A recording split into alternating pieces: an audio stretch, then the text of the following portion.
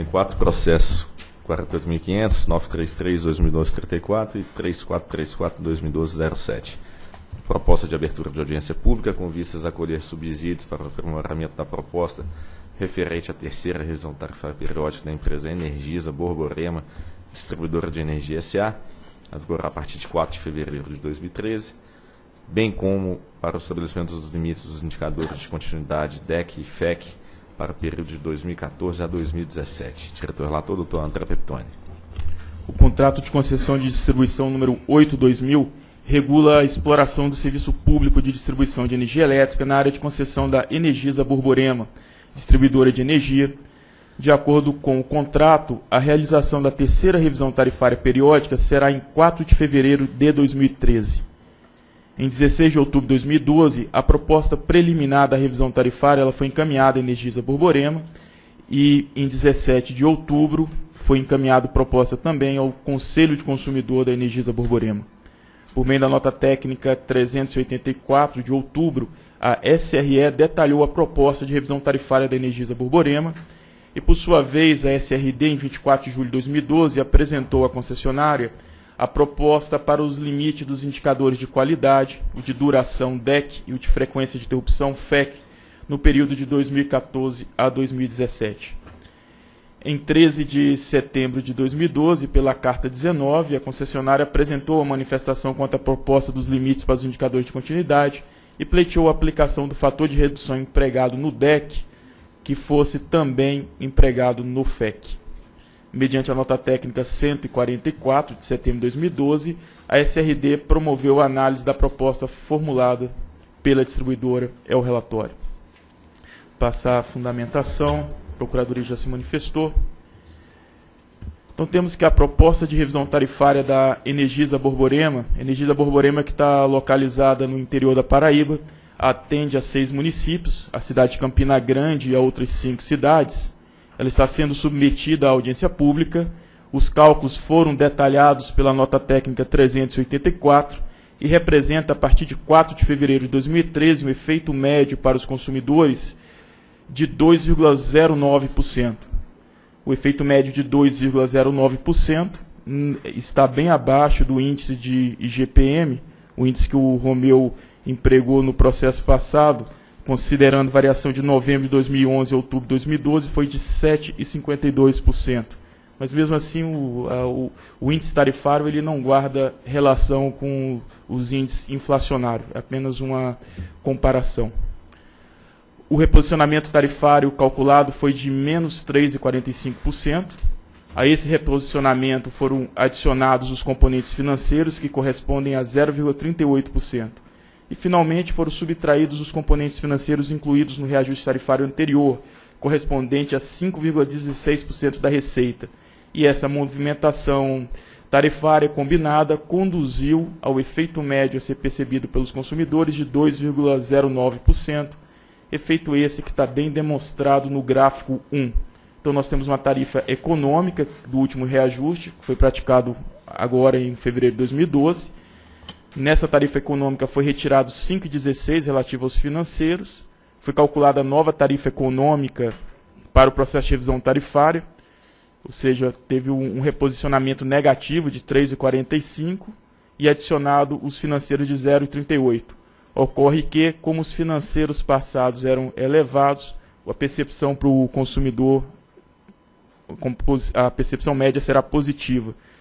Sendo que essa tarifa, quando discretizada, para os consumidores A4, que em grande medida são industriais e comerciais de grande porte, a proposta é uma redução de 4,63%, e para o consumidor da tensão de baixa tensão, consumidor residencial, em 2,3%, a proposta é de uma elevação de 5,07%. Esses números estão sendo submetidos à audiência pública e a elevação tarifária percebidas nos subgrupos B2, B3 e B4 em relação ao residencial B1 deve-se em grande medida à alteração no cálculo das tarifas dessas subclasses, consoante com o módulo 7.3 do ProRet, onde se busca então, os, atingir os patamares que estão na tabela 2, ou seja, que o consumidor, a tarifa do rural seja 70% do residencial, sendo que hoje é praticado na área de construção da Borborema 50,85%, Nós temos todo o terceiro ciclo para alcançar os 70% e a proposta que está sendo sinalizada dá o primeiro passo, atingindo 61,71%. E esse efeito se repete para o B3, para a iluminação pública o B4A e também o B4B. A tabela 3, senhores diretores, ela apresenta os valores de cada um dos itens da receita na revisão tarifária, o impacto de cada componente no reposicionamento tarifário, bem como a participação percentual da receita requerida. Então nós temos a parcela A com impacto de 0,24, motivado potencialmente pelos encargos setoriais, houve uma redução de menos 2%, em grande medida motivada pela valoração da CCC, que caiu nesse ciclo tarifário, agora adota-se o, valor que é praticamente metade do valor do ciclo tarifário anterior. A transmissão com elevação de 1,58 e a compra de energia variando até um valor relativamente baixo em comparação com outras concessionárias, 0,67%. E a parcela B, onde de fato faz efeito as regras do terceiro ciclo, leva a uma redução de 4,68%. Estamos reduzindo custos operacionais em 2,89%, as anuidades em 0,48%, a remuneração em 0,72%, reduzida, depreciação também reduzida em 0,49%, receitas irrecuperáveis caiu também em 0,19%. De tal forma que a parcela A mais a parcela B atinge um valor de menos 4,44%. Temos a questão da alocação do subsídio na tarifa econômica, que representa 1%, o que leva a um reposicionamento tarifário econômico de 3,45%, que associado ao componente financeiro que está entrando agora positivo de 0,38%, conduz a um reposicionamento com financeiro de 3,07% e tirando os financeiros de 5,16, leva o efeito médio para o consumidor de 2,09. O reposicionamento econômico, que é de menos 3,45, ele é composto por impacto positivo de 0,24 em razão do aumento de alguns itens da parcela A, em especial da compra de energia e dos custos com transporte, e pela redução de 4,68 da parcela B, além do movimento de retirar a previsão de subsídios da base financeira para econômico, que tem efeito de 1%. Ressalta-se que a alocação dos subsídios na base econômica não eleva a tarifa final ao consumidor, uma vez que reduz na mesma proporção os componentes financeiros. O gráfico 2 resume a composição do efeito médio para o consumidor. Então, a gente fazendo, estratificando a tarifa, nós temos uma redução de encargos setoriais de 2%, a transmissão aumentando em 58%, a geração 0,67%, a distribuição, que é o, o, fim da atividade da Energisa Paraíba, caindo 4,68%, os financeiros representam 6,53, sendo que o efeito médio para o consumidor, já falei, 2,09. Com relação aos componentes financeiros incluídos no reajuste anterior, que estão sendo retirados da base tarifária, correspondentes a 5,13%, destaca-se o ajuste do faturamento da Coteminas, que era revertido para a modicidade tarifária.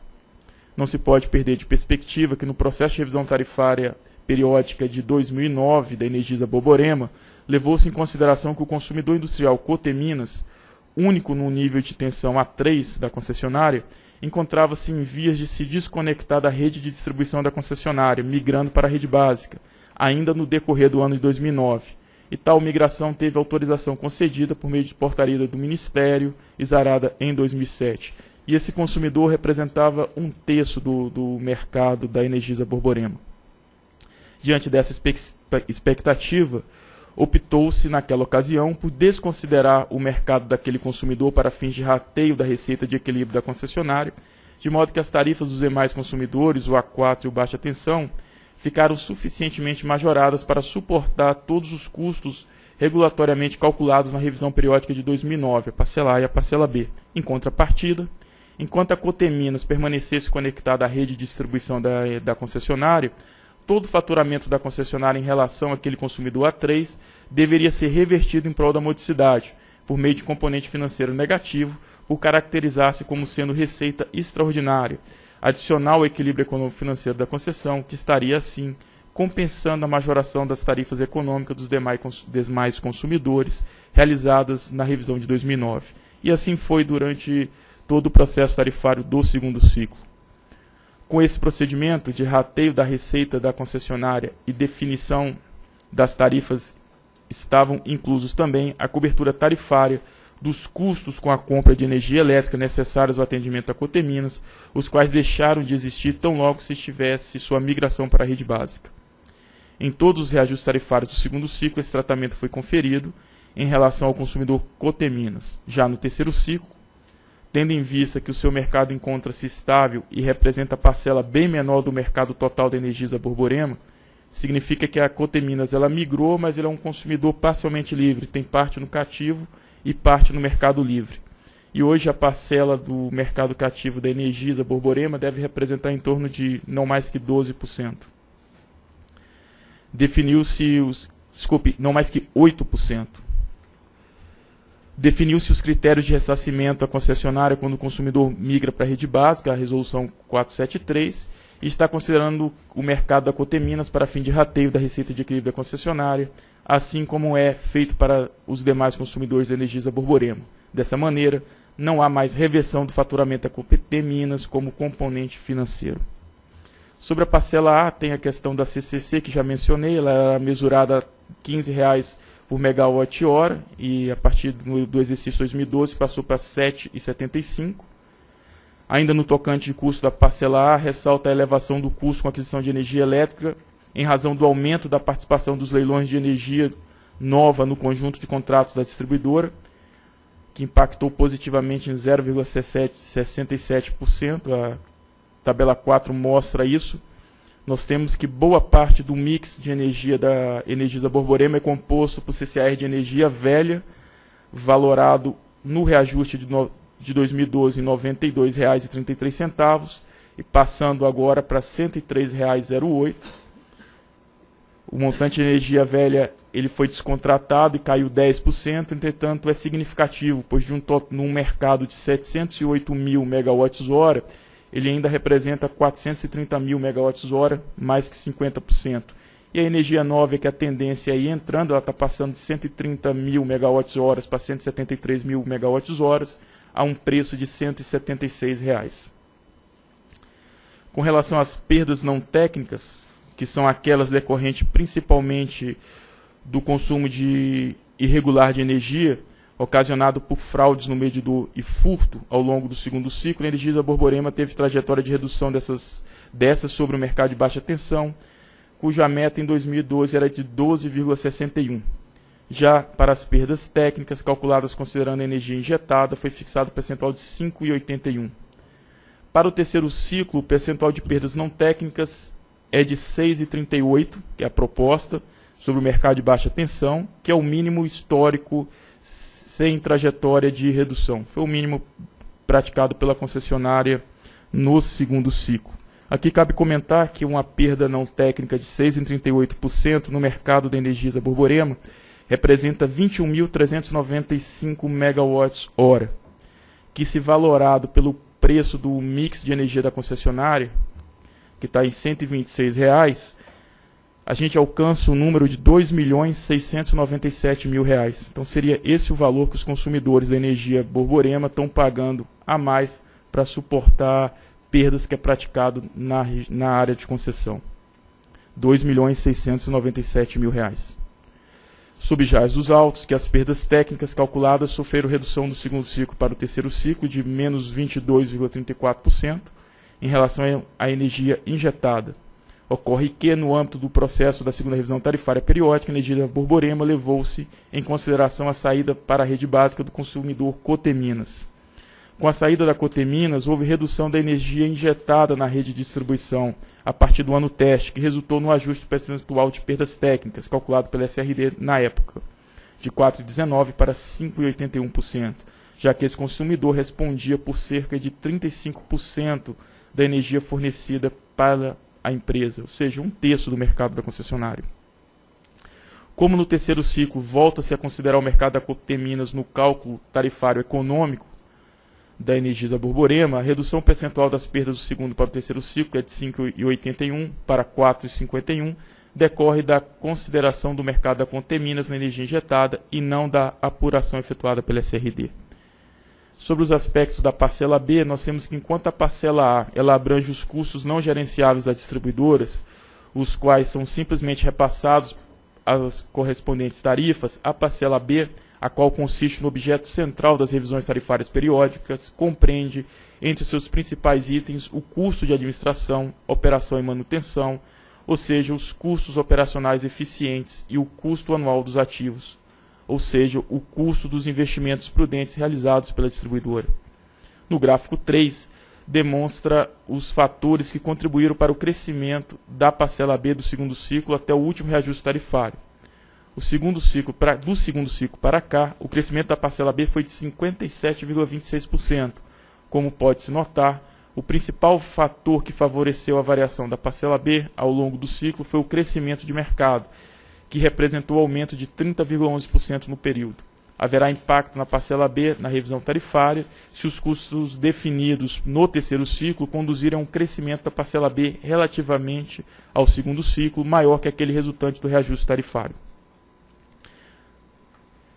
Para o reposicionamento tarifário, o valor do custo operacionais a ser considerado no terceiro ciclo é definido a partir da atualização dos custos delimitados no segundo ciclo, levando-se em conta a variação do índice de inflação, o crescimento do produto e os ganhos médios de produtividade observados no período, conforme a equação a seguir. A equação que está posta em tela. Ao analisar a evolução dos custos operacionais a cada ano do ciclo tarifário, ajustados de acordo com a regra do terceiro ciclo, exclusão da receita com serviços taxados e do chamado custo anual das instalações móveis e imóveis, percebe-se que os valores faturados calculados proporcionalmente à receita faturada, calculada a cada reajuste, estiveram consistentemente acima daqueles que se obteriam pela aplicação da correção segundo a metodologia usada no terceiro ciclo. É o que se depende do gráfico. A metodologia do segundo ciclo ajustada é a linha azul, que está sempre acima da, da metodologia do terceiro ciclo, do ProRet, que é a linha verde. A diferença entre os custos operacionais definidos no segundo ciclo, atualizados segundo a equação 1, e os custos, segundo a metodologia do terceiro ciclo, é de menos 13,55%. E isso provocou o impacto no reposicionamento tarifário de 2,89%. Sobre o custo anual dos ativos, temos que o custo anual dos ativos é formado pela remuneração do capital e pela cota de reintegração regulatória. A primeira corresponde à remuneração dos investimentos realizados pela concessionária e depende fundamentalmente da base de remuneração líquida e do custo de capital. A segunda considera a depreciação e a amortização dos investimentos realizados e visa recompor os ativos afetos à prestação do serviço ao longo de sua vida útil e está relacionada à base de remuneração bruta e à taxa de depreciação. Quanto à remuneração de capital, houve redução de 13,7% em relação aos valores hoje existentes nas tarifas, o que representou um impacto de menos 0,72%. A situação adveio, sobretudo, pela queda da UOC, que passou de 9,95% para 7,5%, e foi amenizada pelo volume de investimento feito, que resultou no crescimento da base de remuneração líquida. O gráfico 5 mostra os efeitos. Quanto à cota de reintegração regulatória, houve redução também de 13,8% sobre os valores hoje existentes na tarifa, o que representou um impacto de 0,49% sobre elas. E essa queda sucedeu devido à redução da taxa de depreciação, que é praticada agora no terceiro ciclo. E o gráfico 6 apresenta esses efeitos. Sobre o ajuste da parcela B em função de investimentos realizados, temos que no segundo ciclo definiu-se por meio da resolução 234 que na hipótese de os investimentos então estimados pelas distribuidoras serem inferiores aos verificados, isso seria ajustado no momento da terceira revisão por meio do fator X. E no caso da Energisa Borborema, o investimento realizado no segundo ciclo serão ainda fiscalizados pela ANEL. Assim, de maneira provisória, foi considerado no cálculo atual o montante de investimentos declarado pela concessionária, que por ser superior aos valores previstos no segundo ciclo, o, valor, o fator XE do fator X definido no segundo ciclo, ele não vai ser revisitado. Sobre os componentes financeiros, nós temos esses listados na tabela 5, e dos negativos sobressai a CVA em processamento e a neutralidade dos encargos setoriais, e dentre os positivos, frisa-se a, a sobrecontratação de energia no valor de 2 milhões e 100 mil reais. Sobressai que os valores acima são aqueles pleiteados pela Energisa Borborema e alguns itens ainda são estimativas. Os valores definitivos serão obtidos após fiscalização da ANEL de forma a serem considerados no resultado final do processo tarifário. O valor considerado para implantação do Manual de Controle Patrimonial que aqui foi de R$ 672.630. Ele é provisório, uma vez que a ANEL ainda irá definir os parâmetros regulatórios para sua aferição. E os subsídios tarifários também passam a ser compensados na própria estrutura tarifária, não sendo mais necessário considerar como componentes financeiros a previsão de subsídios para os próximos 12 meses, e o valor constante da tabela 5 tratam-se, portanto, simplesmente do ajuste entre os montantes efetivamente apurados no período de referência e a previsão feita no reajuste anterior. Sobre o impacto da revisão tarifária na composição da receita, nós temos os dois gráficos, com e sem tributos.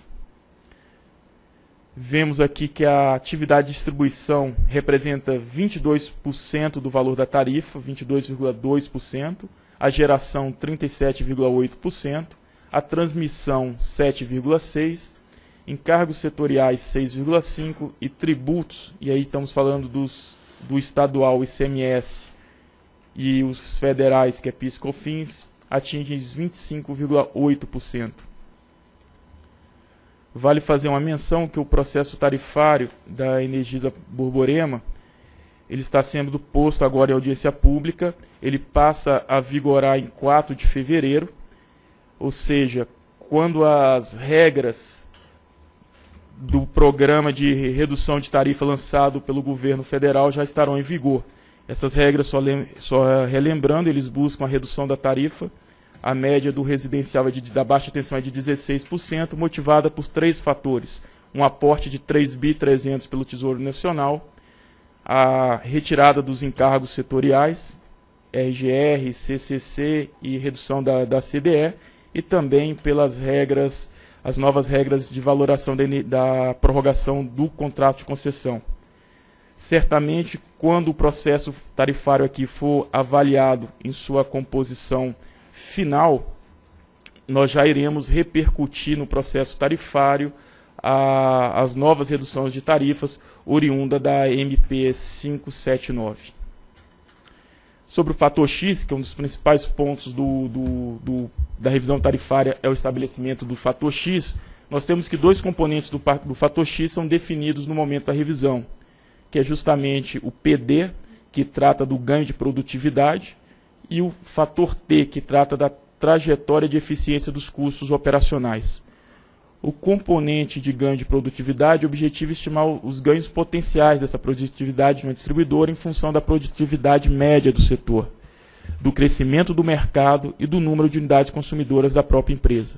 Na revisão tarifária da Energisa Borborema, o valor do componente PD proposto para a audiência pública é de 0,19. Já o componente T, que tem por objetivo estabelecer uma trajetória na definição dos custos operacionais regulatórios, Essencialmente, trata-se de, de transição entre metodologias diferentes para a definição do custo operacional eficiente. Para sua determinação, é feita uma análise comparativa da eficiência da distribuidora, levando-se em consideração o nível eficiente do custo de outras distribuidoras e características da área atendida.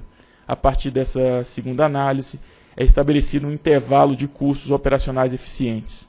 Então, as variações entre os custos definidos no segundo ciclo, atualizados pela equação 1, apresentada nesse voto, e os valores contidos no intervalo de custos operacionais são considerados no cálculo do componente T do fator X, de modo a se estabelecer uma trajetória ao longo do ciclo tarifário entre o resultado da aplicação das duas metodologias. Nós temos que, quanto ao valor dos custos operacionais atualizados, segundo a equação 1, estiver contido no intervalo de custo operacional eficiente, não haverá aplicação do componente T. Caso contrário, o cálculo será baseado na diferença entre o valor da equação 1 e o limite mais próximo do intervalo, sendo o valor do componente T limitado a mais ou menos 2%. No caso da Energisa Borborema, o valor de custo operacional para fim de reposicionamento tarifário é de R$ 33.652.000, mil reais, aproximadamente, dentro do intervalo de custos operacionais eficientes definido pela metodologia de benchmark, razão pela qual não verá aplicação do, do fator T, portanto, o fator T é zero. A partir do reajuste de 2013, aí vamos definir um outro componente, que é o componente Q, que almeja incentivar a melhoria da qualidade do serviço prestado pela distribuidora. Então, esse componente vai ser definido no momento do reajuste de 2013, diante dos indicador, do comportamento dos indicadores de DEC e FEC. Então, dessa maneira, o fator X a ser reduzido do IGPM da Energisa Borborema será de 0,19%, faltando adicionar o componente Q. Nós temos a questão da liminar judicial, que está impede a questão da aplicação do, do desconto dos incentivos na região da Sudene. A concessionária está na região da Sudene e se revertida a decisão do juiz federal, a revisão tarifária da Energisa Borborema seria mais negativa e o reposicionamento tarifário seria de 0,50 pontos percentuais mais negativos. Sobre os indicadores de DEC e FEC, senhores diretores, nós temos aqui no gráfico 9 a proposta para o período de 2014 a 2017. Observa-se do gráfico que a concessionária ela vem apurando indicadores de qualidade sempre inferiores aos limites regulatórios. Nós temos a proposta para 2013 de um, uma frequência de interrupção de 12 vezes e uma tolerância de 14,26 horas, chegando em 2017 com 9,81 interrupções, totalizando 12,87 horas. Esse é o número que está sendo posto para ser discutido.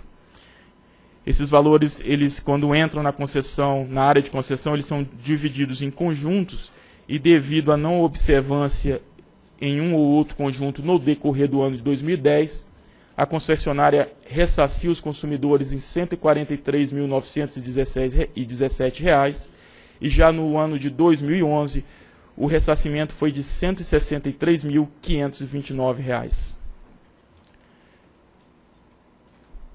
Portanto, passo a leitura do dispositivo de voto, fundado nesse exame nas considerações efetuadas no, nos processos 48.500.000.933.2012, dígito 34, e 48.500.00.3434.2012, dígito 07, voto pela instalação de audiência, audiência pública no período de 8 de novembro a 10 de dezembro de 2012, com reunião presencial na cidade de Campina Grande, estado da Paraíba, em 7 de dezembro de 2012, visando obter subsídios e informações adicionais para aprimoramento da revisão tarifária da Energisa Borborema, relativa ao terceiro ciclo de revisão tarifária, e para definição dos limites de qualidade DEC e FEC, no período de 2013 a 2017. Aqui, senhores diretores, quero salientar que a audiência pública será realizada às 14 horas do dia 7 de dezembro, no auditório da Federação das Indústrias do Estado da Paraíba, em Campina Grande, portanto, no auditório da FIEP, que fica localizado na Avenida Manuel Gonçalves Guimarães, 195, no edifício Augustinho Veloso. Ok, em discussão. Em votação. Voto com o relator. Também voto com o relator. Também voto com o relator.